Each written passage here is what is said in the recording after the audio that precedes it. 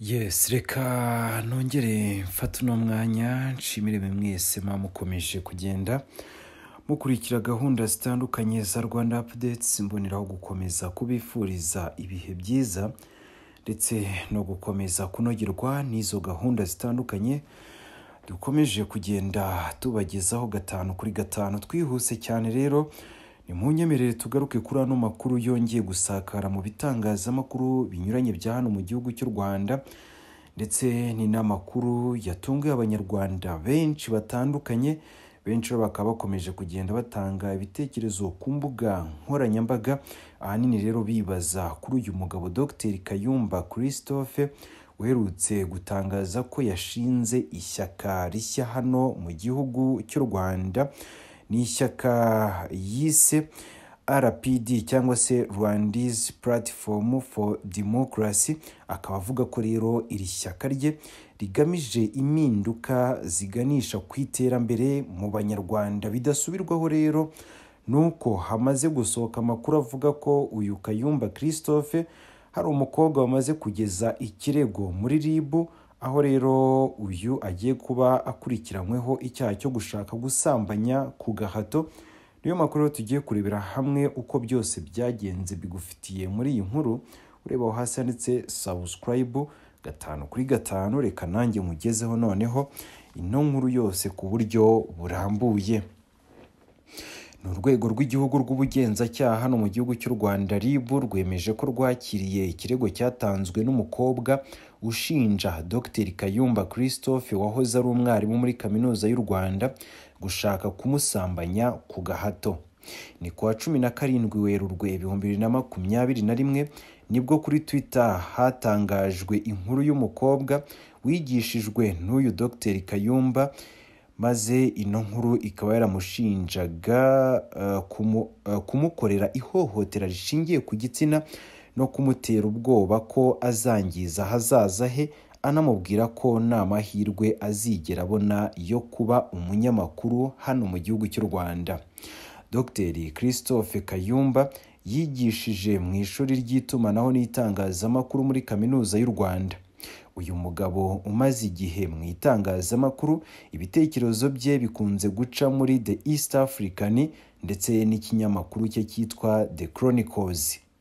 Ni nyuma y'umunsi umwe gusa atangaje umugambi we wo gutangiza ihuriro yise rwandizi platform for democracy cyangwa se rpd rigamije impinduka ziganisha ku iterambere mu banyarwanda ako kanya hahise hazamurwa inkuru z'umwe mu banyeshuri yigishije umushinja gushaka kumuhohotera. Iyi nkuru yatangajwe n'uwitwa uh, kamaraba avuga ko ibihe bikomeye inshuti ye yanyuzemo biteye ikimwaro ndetse ko binateye ubwoba.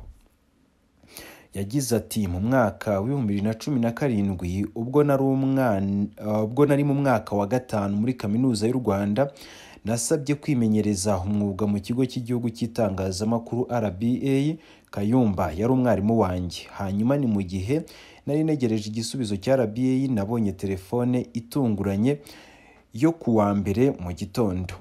Ni kuri telefone. Kayumba ngo yabwiye uwo mukobwa ko hari umuntu wo muri rba wamubajije niba yamurangira umuntu ushaka kwimenyereza umwuga anongeraho ko mfite ubushobozi mu itangazamakuru nkwiriye kwihutira kujya kumureba akama inama ndetse n'ibaruwa imesha kujya gukora iryo menyerezamwuga. Yakomeje agira ati n'icyizere cyinshi nemeye guhura nawe andangira i Remera mu gihogere. Ni nyuma naje kumenya ko ari mu rugo rwe ntabwo rero nigeze mbitekerezaho na cyane ko nari umunyeshuri we mu itangazamakuru muri kaminuza y'u rwanda kandi yari umwarimu nubahaga cyane. Yakomeje avuga ko akimara kumwakira kuko yananyweye kuri kamanyinya ngo yashatse rero kumusambanya ariko undi aramwiyaka akizwa n'amaguru ye. Ni nyuma y'igihe rero uwakorewe icyaha yafashe umwanzuro wo gutanga ikirego mu rwego rw'igihugu rw'ubugenzacyaha rib. Umuvugizi w'umusugire wa rib dr. Murangira bitieri akaba yemereye itangazamakuru ko icyo kirego cyakiriwe ndetse ko kuri ubu ngubu iperereza riri gukorwa. Yagize ati ikirego cyarakiriwe mu ntangiriro z'ukwa gatatu k'uyu mwaka rib iri gukora iperereza inakusanya ibimenyetso byose bishoboka. Yarezwe. Uyu kayumba icyaha cy'ubwinjiracyaha bwo gukoresha undi imibonano mpuzabitsina ku gahato. Dr. Kayumba christophe kugeza ubu ngubu ntarahamagarwa kuko hari amakuru avuga ko agishakishwa. Yakomeje agira ati mu iperereza ikibanza ni ugukusanya ibimenyetso n'amakuru y'uko icyaha cyakozwe. Kuko ari cyo kibanza ndetse ukabaza abatangabuhamya hanyuma uregwa agatumizwa nyuma. Igihe cyose rero ibimenyetso bijyanye n'igikorwa n'ikorwa ry'ibyaha bizaba bimaze gukusanywa ashobora gutumizwa uwo nguwo wakoze icyaha. Nongere nibutse ko icyaha dr. Kayumba akurikiranyweho gihanishwa ingingo y'ijana na mirongo itatu na kane iteganya ko uhamijwe ubwinjiracyaha bwo gukoresha undi imibonano mpuzabitsina ku gahato ahabwa igifungo kitari munsi y'imyaka icumi ariko nanone kitarenze imyaka cumi n'itanu n'ihazabu y'amafaranga y'u rwanda. Atari munsi ya miliyoni imwe ariko nanone atarenze miliyoni ebyiri z'amafaranga y'igihugu cy'u rwanda. Uyu dr. Kayumba christophe akaba akurikiranyweho gushaka gusambanya ku gahato umukobwa yigishaga. Byinshi rero bitandukanye ku birebana n'ishyaka aherutse gushinga reka dukomeze tubikurikirana muri ino nkuru irambuye nawe ubwe tumwiyumvira mu majwi atangaza byinshi bitandukanye.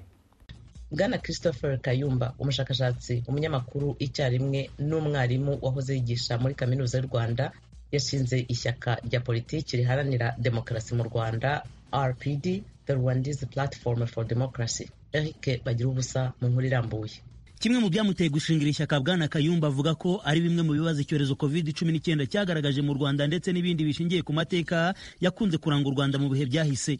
Avuga ko ari ngombwa ko haba impinduka muri demokarasi kuko ngo ibiriho bikorwa mu buryo yita ko bucumbagira. Mu kiganiro cyihariye yahaye ijwi rya amerika agaruka ku mpamvu we na bagenzi be bafashe iya mbere bashinga ishyaka riharanira demokarasi mu rwanda rpd bwana kayumba avuga ko igitekerezo bagikuye ku buryo ingamba zo kurwanya covid cumi n'icyenda mu rwanda zagenze ndetse n'ibindi bibazo birimo iby'ubukene yita karande akarengane n'ibindi byakunze kugaragara mu rwanda. Avuga ko kugeza ubu byagaragaye ko ibyo kubahiriza amategeko uburenganzira bwa muntu biriho ariko mu buryo bufifitse. Mwebwe b'abanyamakuru mwagiye mubivuga muti uyu munsi bafashe aba n'aba babacaye amanda ya n'aya barabafunga. Ariko ugiye kureba nta tegeko na rimwe bavugaga bakurikije.